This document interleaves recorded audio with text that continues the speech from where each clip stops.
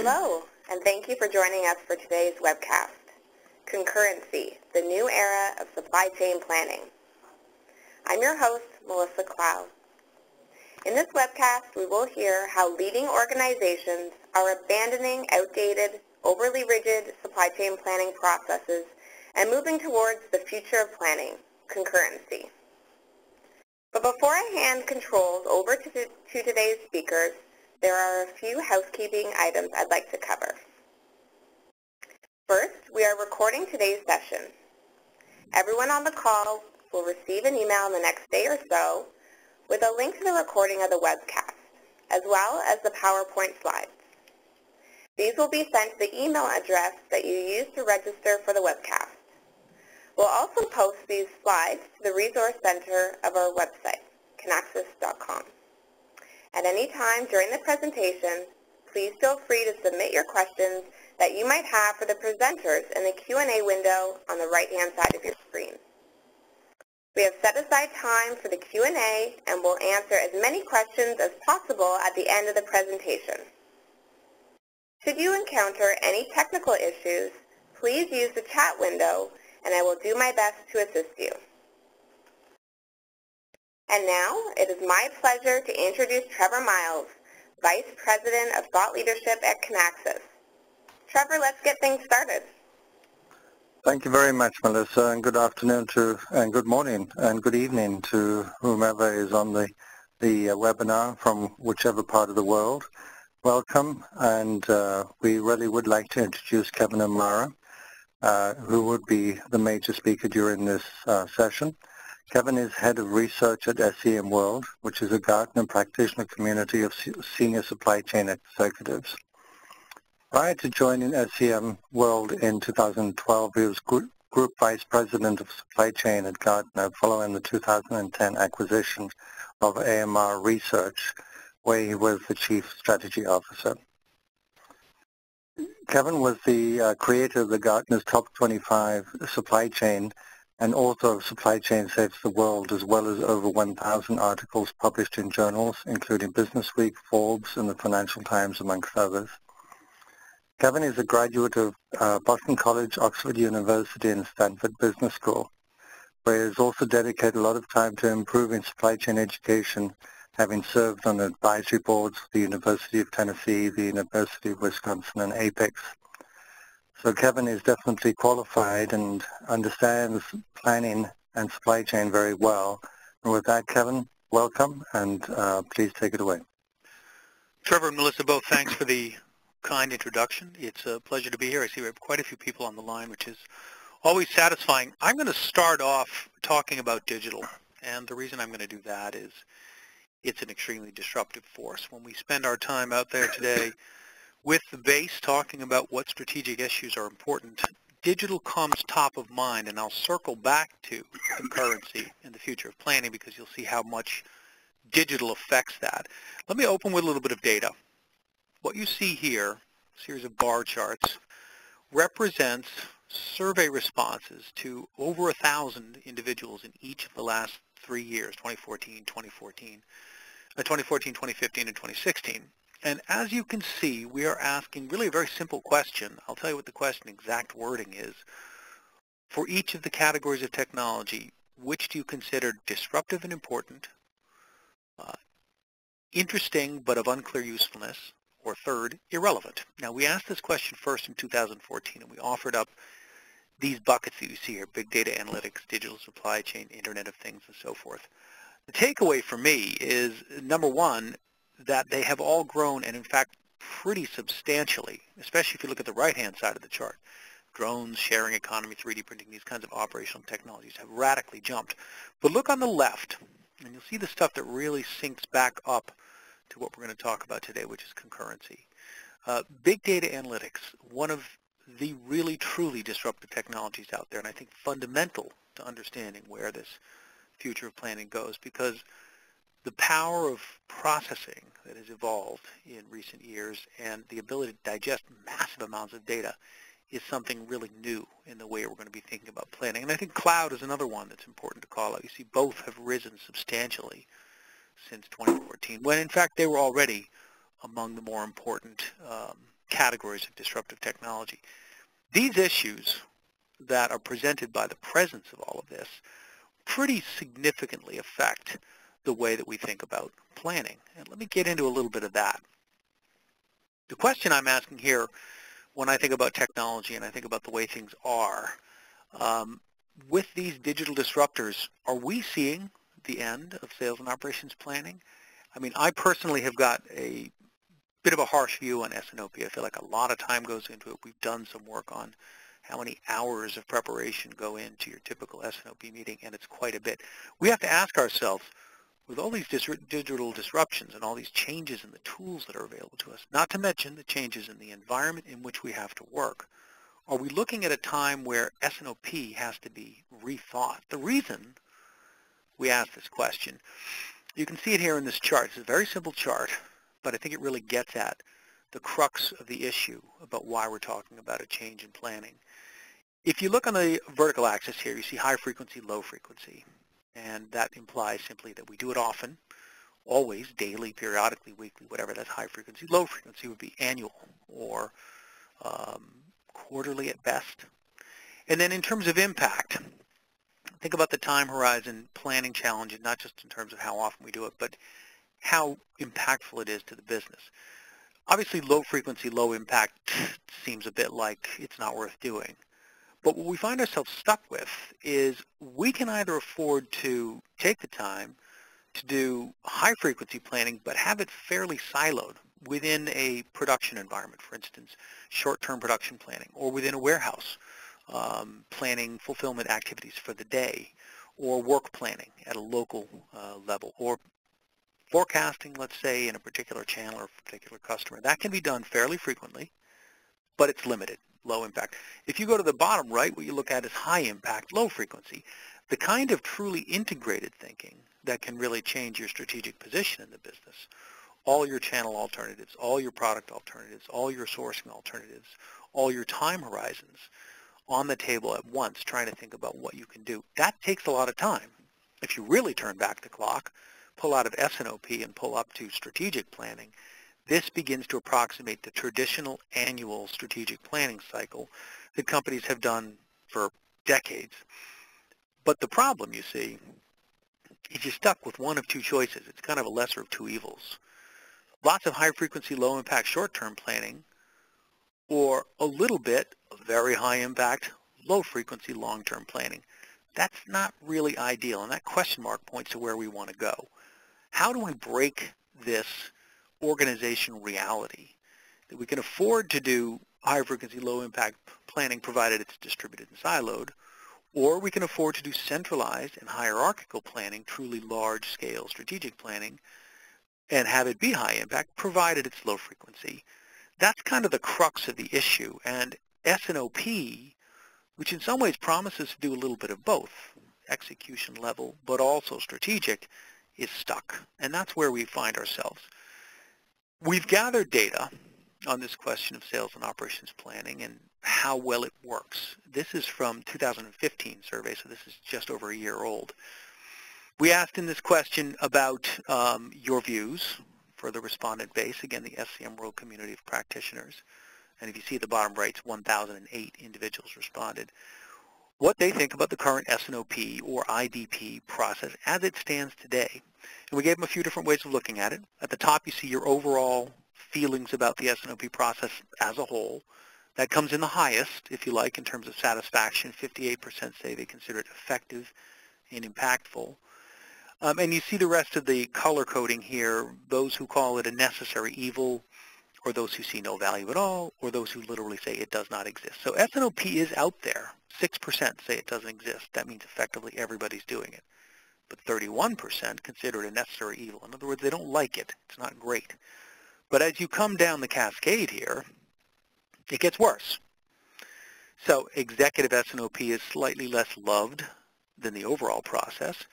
The follow-through, even still a little bit less loved. The preparation, you see 42% say it's a necessary evil. That's really not a big surprise when the preparation is constituted by spreadsheets, Word documents, telephone calls, PowerPoints, classic old school siloed disconnected information systems. That's a lot of work. But the bottom one is the one I want to call your attention to because this really caught my eye when the data first came in. S&OP is out there, everybody's doing it, and yet 18% of these respondents, that's 180 people, 181 actually, said that they have no technology support, no enabling technology for sales and operations planning. That's far from ideal. And I think in the light of what we see about digital disruptions and some of these technologies that are working their way into the way we do business, the fact that nearly one in five answer this question by saying they have no enabling technology, that really gets at the crux of the issue, which is that two by two matrix I showed you a moment ago. High frequency but low impact, or low frequency but high impact, it's really not ideal. And I think the technology gap is something that we're in a position to begin to address. There's a quote that comes from a guy I've known for a long time, this fellow Jake Barr.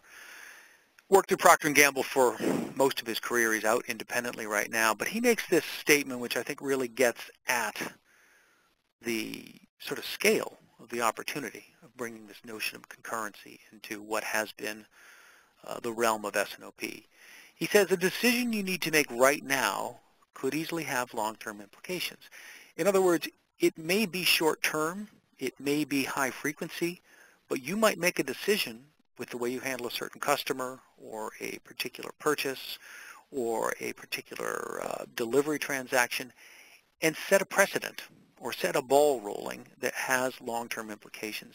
The connectivity of what we do out there in the supply chain and how it affects our appearance as a business or our reputation, or if you start including the risk questions, um, how much of a potential impact that has on brand equity or even potentially liability you might make short-term decisions that you really regret in the long term. So we can't really separate these two, strategic planning for the long horizon with lots of effort, separate from uh, tactical, siloed, local, high-frequency planning. Those two somehow have to come together.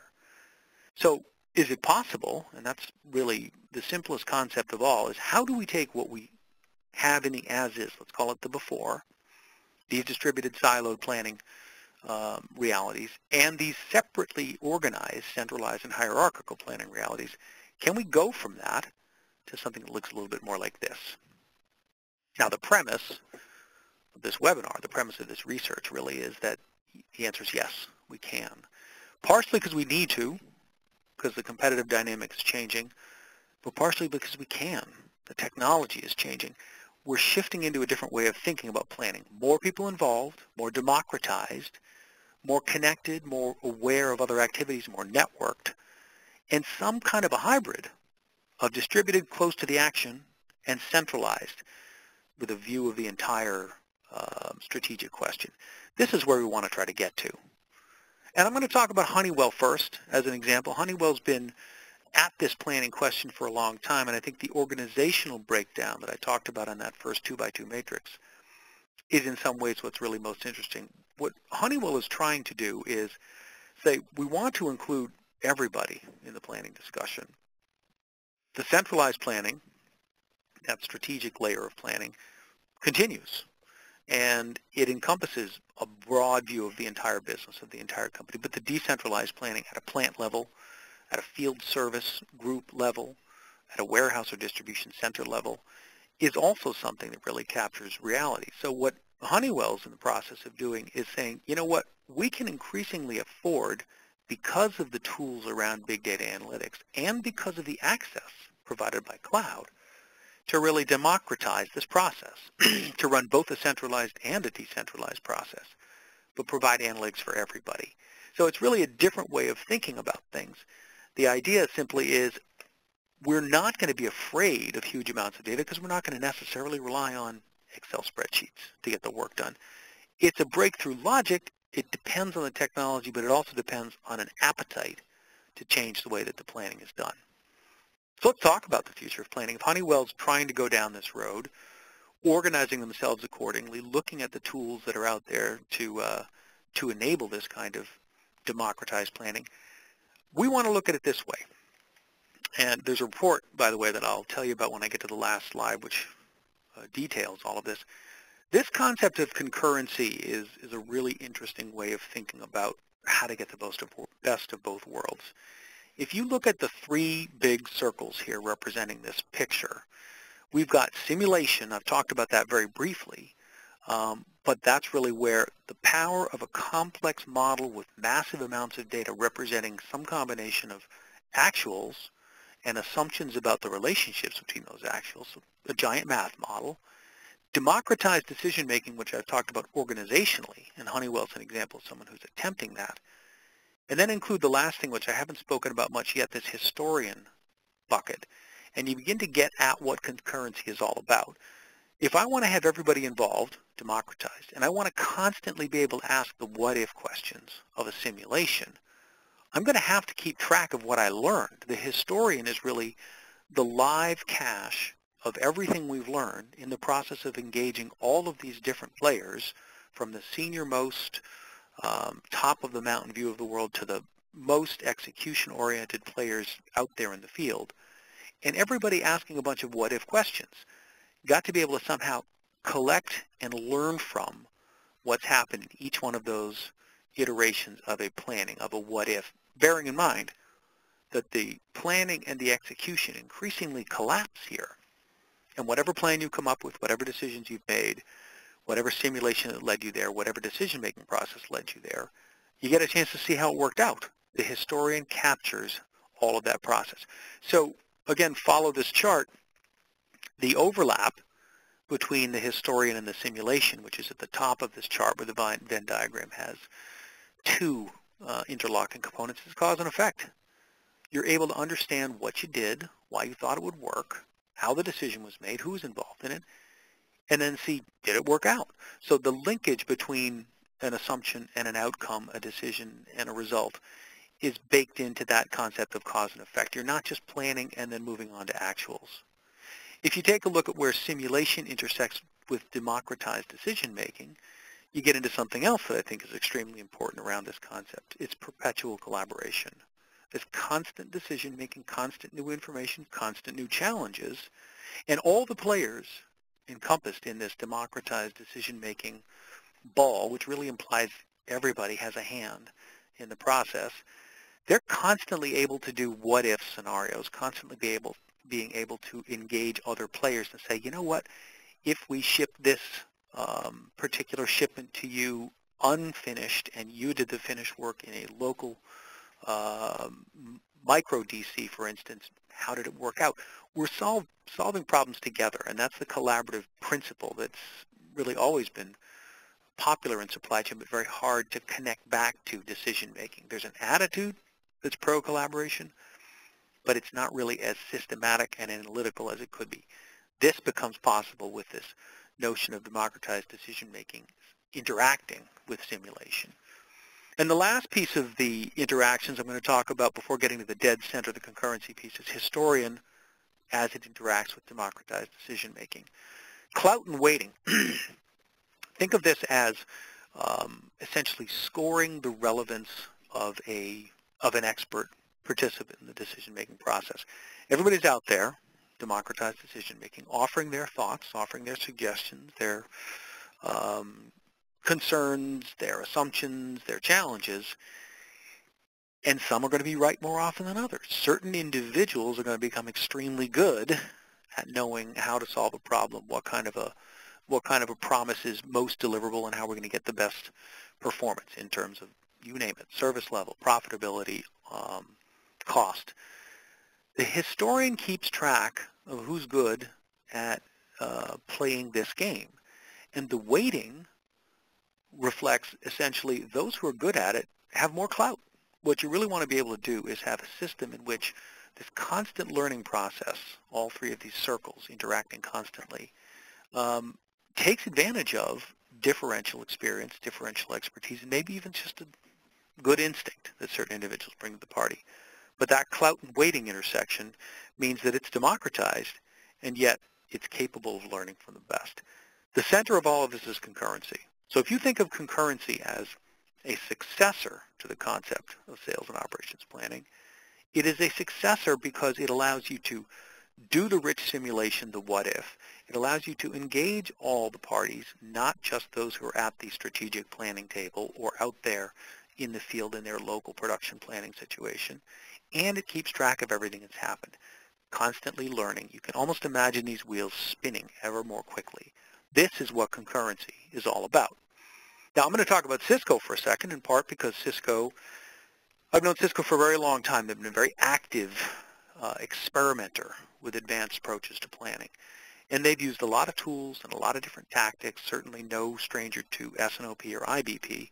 But what's exciting about Cisco is their supply chain strategies, forget about planning for a sec, but the actual strategies applied to their structure and attack within supply chains include things like segmented supply chains, pretty common these days. It's a very powerful way of getting more out of what you've got.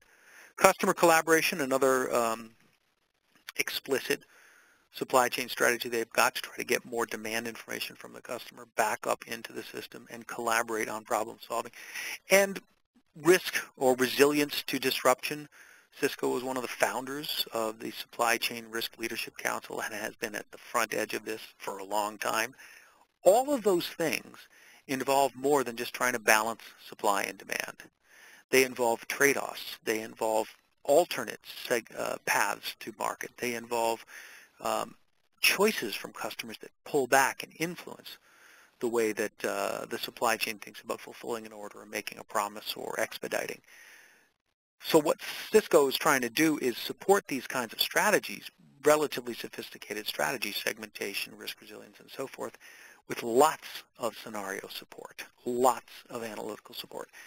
And I think critically, uh, the democratization that I talked about earlier is something Cisco's been uh, working with for a long time. They want to try to bring everybody into the game. Uh, there's expertise out there in many different flavors, and provided that the tools are on the table, Cisco believes that those people can bring something to the party. They're not trying to solve a single problem. They're trying to solve multiple problems all simultaneously. That concurrency image I had up a moment ago, I think really addresses the way that Cisco thinks about things. Now, why not is the question. So why can't we simply have these three big powerful tools interacting in the, uh, in the flow of planning? Simulation, democratized decision making, and um, you know the, the, the power of the historian, they really come together into a completely different approach to planning. I'm going to circle back just, just verbally here for a sec to the digital technologies that I said were so disruptive. If I put big data analytics into this equation and the kind of power of processors that, have, uh, that is, is now readily available, now suddenly simulation goes from being something that was really unwieldy to being something that's possible. If I say, let's throw cloud into this, or digital supply chain, or Internet of Things with more information flowing, that makes democratized decision making that much more realistic. And if I start saying that I've got cloud access to massive stored files, why wouldn't the historian be equally realistic? Why not is the question. If you're trying to think of a planning solution and you've got these kinds of capabilities increasingly realistic, why not rethink the entire approach to sales and operations planning? This is a little bit along the lines of what Amgen had done and, and made some decisions to go down this road. The story behind Amgen very quickly, regulations, all right, we're talking biotech here, vary widely. You have local, you have site level, you have regional or country, you have global regs, so you've got various different conditions that need to be thought about. In order to try to do the planning about the what-ifs that are out there across all these different possible um, cuts of the Amgen business universe, it was necessary to be able to go back and forth, toggle, if you like, between a global plan and then a regional plan, or maybe a site-specific plan. What that really is looking for is kind of like what I said a minute ago. I want the what if, I want the heavy simulation, I want the democratized decision making, I want all of my experts in the field part of this process, and I want to keep track of what, um, what it is we've done in the historian. What they've done, of course, is they've used the cloud technology as a support to sit this thing on top of their ERP system and begin to access some of these highly variable approaches to planning. So Amgen was really approaching this with that same kind of why not mentality. Could we break the old habits? And finally, NCR, I'm going to talk about these guys. It's a very similar fundamental logic. multiple scenarios, in this case very focused on things like logistics and international trade, a lot of knowledge about what can and cannot work, what is the most effective or efficient or reliable method for dealing with a particularly logistics problem is actually at the local level. It's in the execution level. So in specific cases, it's often true that those who are closest to the final point of delivery, those who are handling finished goods or, in this case, let's say service parts, and know exactly what's on hand and exactly what the um, logistics challenges are. They may be traffic challenges, they may be access challenges. Um, those folks have a lot of knowledge to be able to run scenarios that are global enough to be able to do what is this S&OP mandate of balancing supply and demand, but take account of the local observations that are possible at an execution level, suddenly you have the ability to do um, a whole lot more detailed, specific, real-world thinking about this. So harkening back to everybody that I've gone through so far, the Honeywell case, the Cisco case, the Amgen case, and now NCR, different ways of looking at your universe uh, in terms of the folks who make up your supply chain and what they bring to the planning party, whether it's geographic or it's um, strategic, whether it's customer level, um, all those players bring something to the party. So this concurrency concept allows them to participate in the decisions, not just at an execution level doing the work, but at a planning level, including that execution level knowledge up into the decisions that get made in the first place. And this final slide is not really a breakdown of Avaya's use case per se, but we took this as a proof point uh, because Avaya, this is their own graphic. Avaya's view of the world is they want to rise up this arrow, value of time invested. They want to make more of the time they put into their planning process. And this kind of is a, is a pretty firm attack on sales and operations planning. The low value-added pyramid on the left is the one in which you collect lots and lots of data, you try to turn it into information, you try to contextualize it, and you present it as knowledge. This is, uh, spoken I guess most harshly, is the reality of people pulling stuff out of their various different ERP systems and planning systems and sourcing systems and customer forecast systems, trying to get information out of the raw data, trying to contextualize it. So you go from um, an enterprise system up into some kind of a spreadsheet where you digest the information, you contextualize it, probably with a PowerPoint, and you bring it into a meeting. And then knowledge arises. So you're working so hard at the bottom of the pyramid just to have the right information on the table to make a good business decision. Avaya says, you know what, let's flip this. Let's focus much less time on the basic tasks. Let's focus more as we rise up this inverted pyramid on the data trends that we see, even more on the causal understanding so we know why certain things are happening, and at the very top, some kind of prediction, some sort of innovation, the ability to basically balance your optimization initiatives against the benefits of all parties concerned. So you're minimizing the workload at the base and maximizing this, the decision process. The most engagement possible, the most information possible, and really the most value possible. It's a really interesting way to think about inverting the whole concept of sales and operations planning. Now, one specific example that is worth thinking about, this is from research that was done by Stanford Business School. Uh, Lee and a, a bunch of folks were brought on by the United States Postal Service to try to figure out last mile logistics. The reason we pulled this particular chart is that you've got really so much going on here. On the horizontal axis, you see the near term, the medium term, the longer term stretching out into the years. Then you see different slices of the geographic uh, service area that you're trying to focus on from a last mile logistics perspective. You've got remote locations, you've got the small towns, you've got suburbs of the big cities and the dense urban areas. In the near term, what they found when they did this research with the Postal Service was algorithms and analytics were really going to make a big difference in terms of deciding how to best serve from a last mile standpoint each of these different areas. But as they rolled out further in time, the problem becomes a lot more complex. You see drones and robots entering the scene in the two to five year horizon. And five years out, we're talking about driverless vehicles everywhere, from the most downtown location all the way down to uh, an RGV, if you like, going 300 miles off the grid in, you know, Alberta to deliver something. How do you plan this? When do you make a decision about this? When do you say, yeah, we're going to start using drones? Or um, where are we going to start with robots? Is it initially just going to be in the remote locations? And when do we bring these things on? To try to tackle a problem of this complexity and to do so with something other than that classic long-term high-value strategic planning approach is almost impossible without more of the inputs, more of the simulation, more of the what-ifs, more of the different perspectives. What are the various people who are currently doing last mile in each of these different slices of the, the geographic pie? And what's really going to happen in the near, medium, and long term? The need to replan this with lots of analytics and lots of inputs from different expertise, and then lots of history of what we've learned, is enormous. This is not something that's just going to be a matter of supply-demand balancing. This is a matter of decisions and timing of decisions. So it's really a great example of the kind of problem that benefits from this.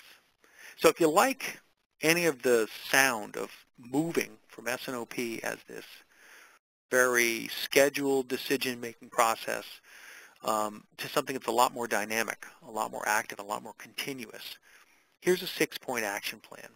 Start off by determining what's possible versus what's just possible now. This is a, a journey. People say S&OP is a journey, so is concurrency. It's a matter of making the right decisions about how you want to move. Answer the right questions as a leadership team. What are we really trying to get at?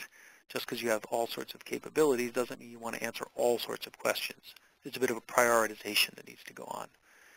Scenario planning, I've talked about it ad nauseum. An analyst who can build scenarios using the data is a critical piece of the puzzle. And someone who can explain those scenarios is a critical piece of the puzzle. It's not just the math, it's also the explanation of how that scenario works. Fourth, you'll see dedicate time to review what actually happened. It's sort of like the historian concept. If you have the historian and you're capturing your um, test drives, your, your experiments, your learning process, you've got to take a look back and see the actuals that arose from the plan. This is something that's a good discipline that one should use in any supply chain context. But to go down the road of concurrency, you lose a big chunk of the value if you don't review what actually happened. Make your technology roadmap visual. Absolutely. Technology is out of hand in some ways. Back in the day, the 90s and the early 2000s, the technology roadmap was roll out your ERP system, go live on some distant date in the future, and assume everything's going to be fine. It's not like that anymore. Are you going to deal with drones? Are you going to have robotics? Are you going to have remotely guided vehicles? That's part of your tech roadmap. What about the democratization of planning that I talked about? Who gets access? And how do you control that access? And who has a chance to participate? These kinds of things are part of thinking about where you're going to put technology in place and how it's going to fit to the as-is universe we think of it in terms of demand sense and supply sense, but also demand response and supply response. Where does all this stuff sit and how do you enable it, especially in the middle where you want to make decisions and commitments. So that visual roadmap is critical to that. And finally, catalog your planning library across functions. People think of planning differently. It's one thing to plan a promotion. It's another thing to plan production. It's another thing to plan capital expansions. If you look at it this way, functionally, you'll see relevance attaches to, let's say, these functional roles, demand planning, procurement, manufacturing, and so forth. And the kinds of shorter execution level or longer strategic level planning horizons you need to think about. Spend analytics is one version, as are spot buys. Capacity planning is the strategic version of day-to-day production scheduling. So these kinds of definitions are critical to making it all work. You've got to keep it relevant for the team if you want this six-point plan to happen. Now, I'm closing in on the end here, and I'm, I'm aware, uh, Trevor, that we have some questions, but I also want to make sure that folks who want access to this material um, have a chance to get it. And you'll see on Kinaxis's website right down, right there at the, uh, at the link, is a place to pull down this particular report. Um, backing up one step to the opening comments that Melissa and uh, Trevor set us off with, the idea here is things are changing, and this is a path forward. It's a different way of thinking about planning. The technology makes it possible, the pace at which things are happening makes it necessary. So I would argue this is a, a worthwhile report to take a look at and think about your own approach to planning as you move forward. So Trevor, I'm going to ask you if you wouldn't mind just to spend a couple of minutes talking us through this slide and make sure that folks have a perspective on um, concurrency as you guys see it over at Kinaxis. Do you want to just um, take the ball from here and have me uh, yes. transfer the slides? I've got them, got control. Thank you Wonderful. very much, thank Kevin. You. Yes. And thank you very much for uh, that presentation. Listening, I couldn't help but uh, consider when you were talking about the two diagrams of the local and the global kind of uh, uh coming together going back to the 1960s thought of think global, act local, uh, and how it actually brings those two things together. And in, in particularly in the context of Jack Ma's comment about those two things working simultaneously. And uh, was wondering just quickly before I move on is, you know, there was one verb maybe or one characterization uh, that uh, came to mind when you were talking about the concurrency and uh, the manner in which it would be used to help people make similar decisions as in S&OP, and that's perpetual. Yeah. Uh, you know, that it's, it's not a sequence thing. It's perpetual. It's always available was one of the ideas, right? Yeah, and you know, I said it really only once, scheduled decision making. Mm. mm. That's what we're trying to get away from here. You want mm. to get to perpetual. Perpetual is mm. valuable because the problems never stop you know, in the report, we talk about scheduled decision-making as uh, a legacy of that planning construct that we talked about up front, where you can do short-term, uh, low-impact or long-term high-impact decisions. Therefore, you end up scheduling this cadence-driven sales and operations planning process. Uh, it's not really like that. The real world is, is constant. The real world is perpetual.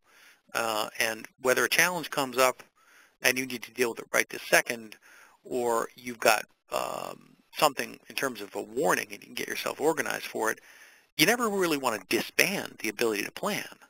So I think perpetual, I'm glad you, you pulled that uh, as, a, as a thought, Trevor. Perpetual planning is really where we're headed. Um, mm-hmm. Scheduled decision making is a legacy of the past when things moved more slowly and information was very difficult to, to get your hands on. Both of those things have changed, and so we have to be in a mode of continuous, perpetual, if you like, planning. Yes, excellent.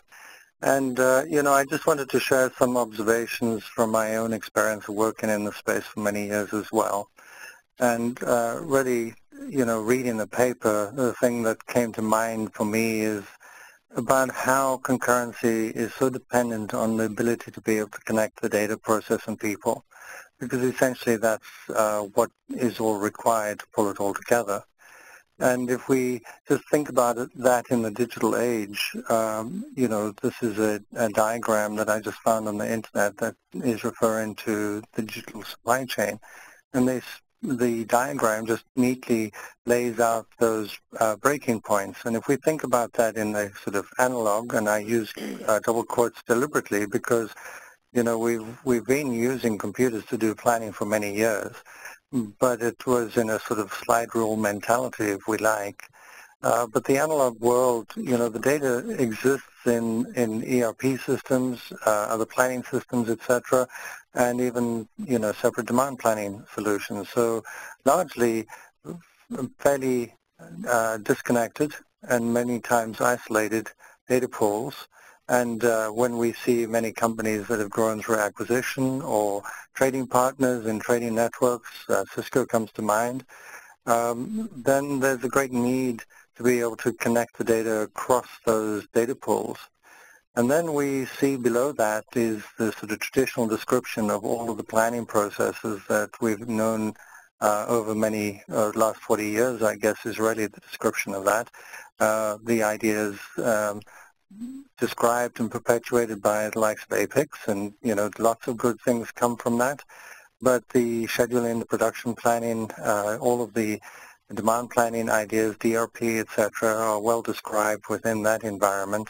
And at the bottom is really the hierarchical organization in which we actually operate with all of the silo decision making and which then leads to that uh, stepwise decision making because you need to uh, escalate within your own environment before the decision gets actually passed over or the, uh, the data gets passed over to the next organization, which then first cascades down, then cascades up. And we find that uh, these are some of the things that people are really struggling with to try and overcome. But then when we talk about digital and where that's driving this whole decision process, is that the data is not necessarily going to reside entirely within the organization. And in fact, many times it might be coming from sensors external to the organization, but equally it could be coming from uh, the robots, etc., that are working within your organization. And then uh, adding to that is the machine intelligence and artificial intelligence that's actually absorbing that information and making some level of automated decision making on, on top of that. Now, when you talk about the historian, this is a good place to start because what better way of learning how to plan in the future than actually having a history of what you've done in the past and understanding what's worked and what hasn't worked. So that's the first stepping stone and then building upon that to be able to uh, improve on those decisions. And lastly is the people. Um, you know, I'm a firm believer anyway that people are still going to be a key part of the supply chain undoubtedly from the very early stages of MRP and, and the descriptions around uh, bill explosions and all of this, you know, we've moved a long way from the old planning boards uh, to some level of digital representation of all of that decision making. And this is a continuum of that where people are still going to be involved. You're still going to have trading partners who have different objectives who need to uh, come to a joint des- uh, decision across competing metrics that is not necessarily going to be made uh, automatically by a machine. So it's about how do you bring all of those people together to achieve that democratized decision making because this is where they share ideas, where they test ideas in the, in the simulation, and therefore they uh, capture all of the information about how they uh, made a decision in the historian and bring this all together. Now, to your six-point plan, um, you know, this is going to be a, a matter of migration. Uh, this is not going to be a, uh, a big shift in a very short period of time. People are going to need to migrate to this uh, way of decision making over a period of time, and therefore we are going to live in the analog and digital world for some period of time. But you've given them some good steps on how to move forward. And really, when we bring it all together from uh, our perspective anyway, uh, you know, RapidResponse is the tool that we provide, and it sits in the middle there, connecting the data process and people. Uh, but in the surround, it's all with the uh, supply chain working. And it's when you bring these three things together, uh, these capabilities, that you then have the ability to perform concurrent planning and of course, then if we wrap that all up on the on the outside, when you're talking about the process capabilities and approaches, then we are talking about the simulation, the historian, and the democratized decision making, all being enabled by a key technology such as this. So um, that's you know the determination from my side, but I do believe we've got a number of questions, Melissa, that have been stacked up. Um, and we'd like to then hand, uh, ask uh, Kevin to be a key part in answering those questions. That's right. We do. Have, we've had some really great questions come through. Um, if you do have a question, now's the time to ask. You can use the Q&A panel on the right-hand side of your screen. Um, so let's get started with the first question. Kevin, Trevor, what is the fundamental need for concurrency? We can start with you, Kevin. Well, I think the fundamental need, uh, a lot of it was reflected in Trevor's last set of slides. It's about trying to break down these silos and trying to break down these time horizons. Um, the scheduled decision making as a was, the perpetual decision making as an is, um, really include cross-functional thinking and without quite so much time involved. I think time is really the most important thing of all in the uh, in the path forward. Breaking down these silos and including all these different kinds of, of inputs. I don't know. I feel like the situation is very different now than it would have been even five years ago. You know, these disruptive technologies are in many cases quite new, not all of them. But um, but those are the things that are, are critical. Yeah. Trevor, I don't know if your perspective differs at all. No, I, I agree, Kevin. I mean, we always uh, stand on the shoulders of giants. So this isn't about throwing everything away that we've learned, but a new way of actually operating in that environment. Um, you know, we do come from a time when, in fact, all of the decisions had to be made in silos because it was only a certain amount of information that an individual could absorb and calculate at any one time. And even as we look at the technologies that were available at the time that most of our processes uh, that we know and love uh, were defined, the, it just wasn't possible to absorb that quantity of information, actually perform calculations on those, uh, on that vast quantity of data. And as a consequence, we did silo the processes. But now those barriers have moved away. So from a technology perspective, now we need to move them away or remove them from a process perspective and a way of thinking and uh, reorganize our, our, our, processes and organizational structures to take that in, in mind. And this is the beginning of that process. Good. The next question that was asked is, how can I show the process winnings?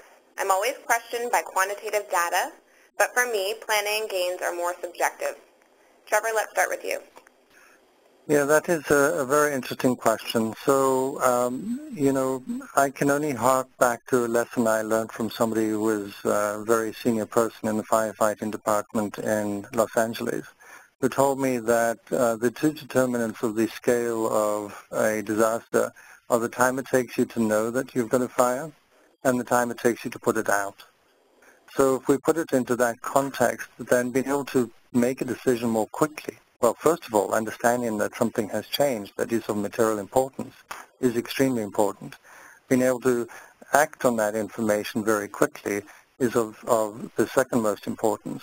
So in that context, being able to make a decision very quickly is, of course, a very important capability.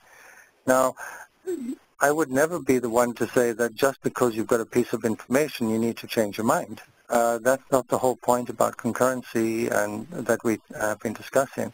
The point is that you're aware of a change that has occurred that has a material impact on your supply chain. Those are two important words, aware and material. And once you, uh, you have established those two things, it's a conscious decision then on what you do. So we're not necessarily suggesting that there will be a great deal of churn and disruption in the supply chain but at least you're making a conscious decision before the fact as opposed to after the fact. And I think this is where we will then see tangible financial benefits, inventory reduction, customer service improvements uh, come from the ability to make decisions more quickly and be more aware of changes in the supply chain. Kevin, any thoughts? Yeah, one thought, and you know, I'm, to be honest, I'm scrolling ahead and looking at some of the questions, and they're they're making me smile. There's some really interesting ones about unintended consequences. I don't want to jump, Melissa, but I know we're kind of going there. Um, the value, if you stay focused on um, traditional metrics, inventory, you're probably going to get some, but that's not going to be earth-shattering. I think the value is going to come from, there's something I remember seeing, perishable demand. I remember uh, Dell talking about this years ago. If you do concurrency well, if you can kind of live the full vision here, and by the way, it's, it's a journey, as Trevor said, I think the kinds of things you're going to see um, payback on are more business, essentially. I mean, perishable demand means somebody who would have bought the product, but or would have taken the order, would have you know been a customer, but the moment passed and the, the bid wasn't acceptable, and they moved on. So perishable demand means grabbing that piece of business you couldn't otherwise get. Yes, inventory should be leaner. Yes, service levels should be better. But I think, remember I talked about segmentation at Cisco. That's a strategy that we see in a lot of supply chains. If you're going to have segmented supply chains, you're going to have different paths to market for a delivery or for a product. And you want to be able to accommodate as many as the business can handle, you know, four or five, six different supply chains. If you don't have some kind of a technique for dealing with all of this information, you're going to miss orders.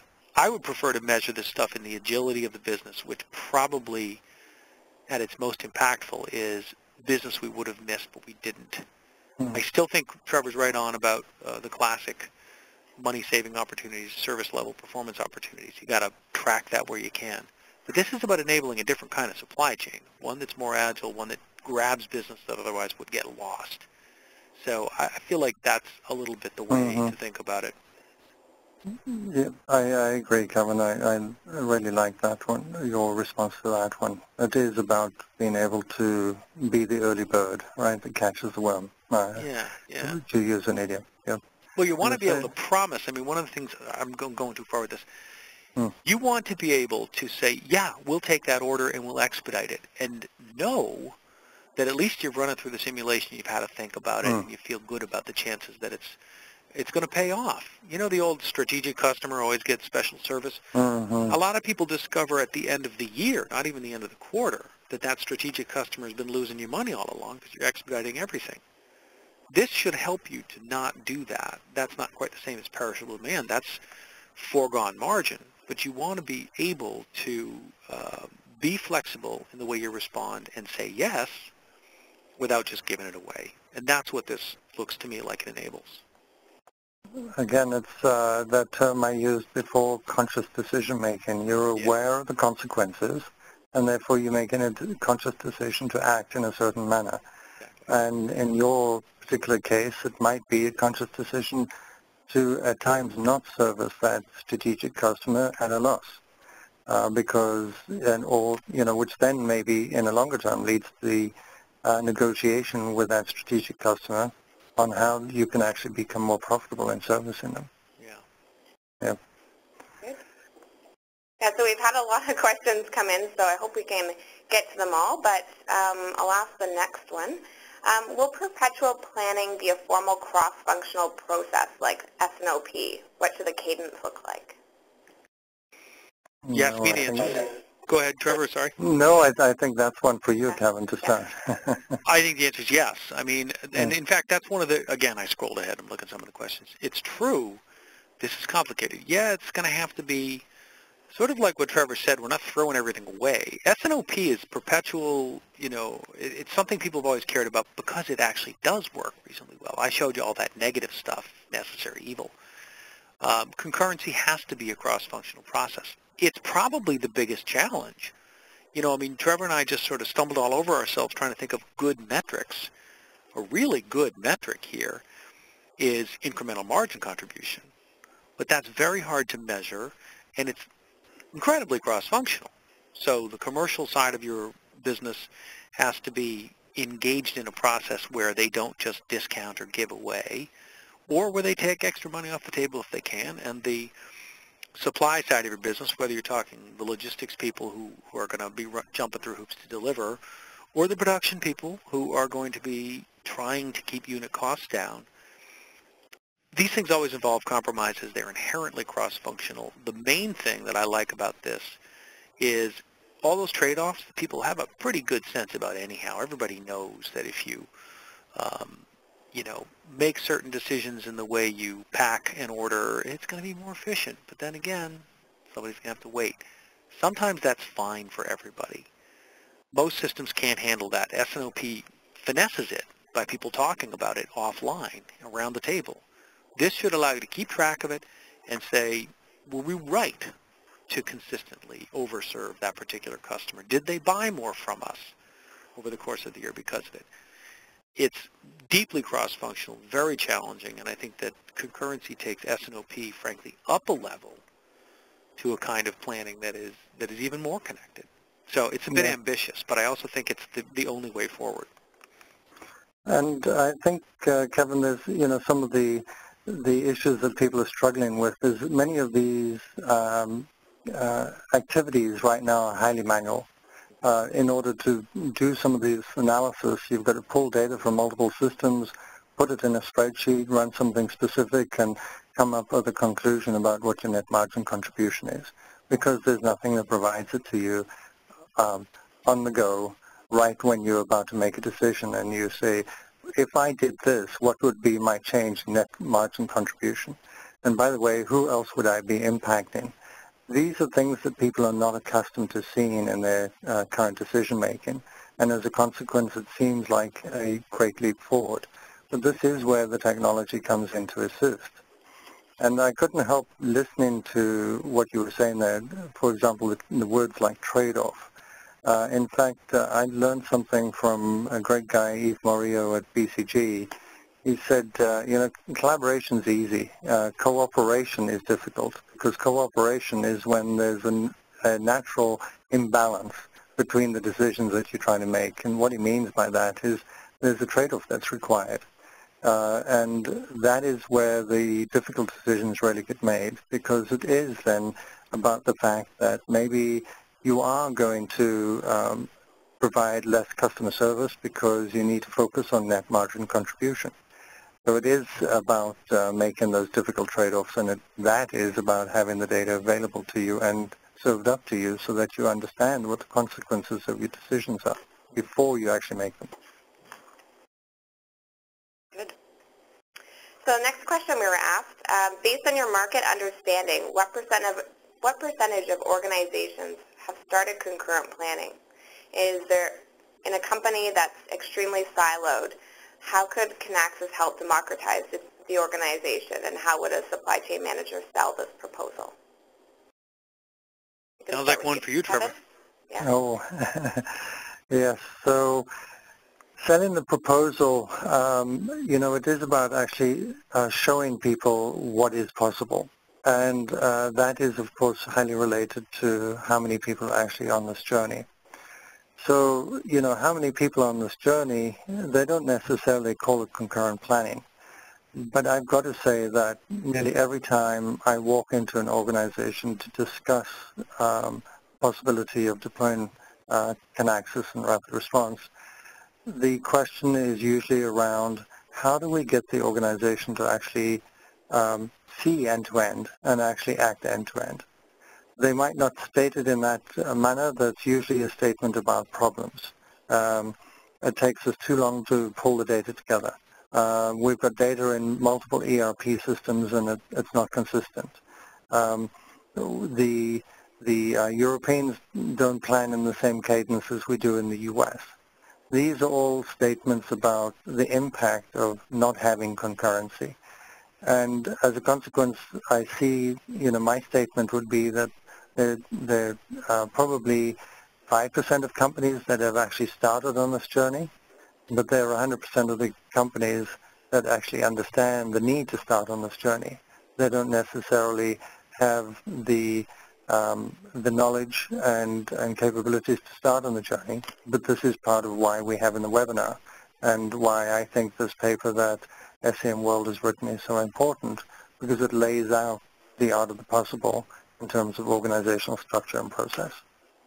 Yeah, if I can just offer one little thought on that because I'm going to echo one thing in there in particular.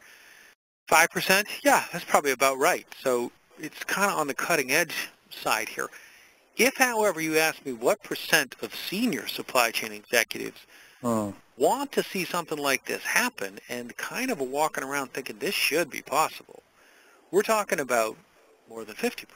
Only the most cynical SVPs believe that this is too difficult or cross-functional stuff is just too hard to really force or the technology is not ready. They don't believe that. They know it's going to take a while but they expect us to figure it out. I think if you're someone who's just dealing with S&OP you know, preaching S&OP, you see the, the, the mountain from the bottom, and it looks like a long way. If you're at the top and you're looking down at your S&OP org, you think, you know what, philosophically it's right, but it's slow. The data's not good. I can't really see what my options are. I end up having to back channel this and make phone calls. And the thought is from the top of the mountain, this should be better. This has got mm. to get better. So I think that the percentage of those who are doing it is very low, like you said, Trevor. But I think the percentage who expect it is very high. Yep, I would agree. Okay, well, Melissa? it looks actually like we've run out of time. Um, for those that we didn't get a chance to answer your question, we'll reach out to you after the webcast. Um, but I really want to thank you both, Kevin uh, O'Marah and Trevor Miles, for the great webcast today and everyone for joining us. As a reminder, we will be sharing the recording and the presentation slides in the next day or two, next day or two, so stay tuned. Thanks, guys. Bye Thanks, now. Melissa.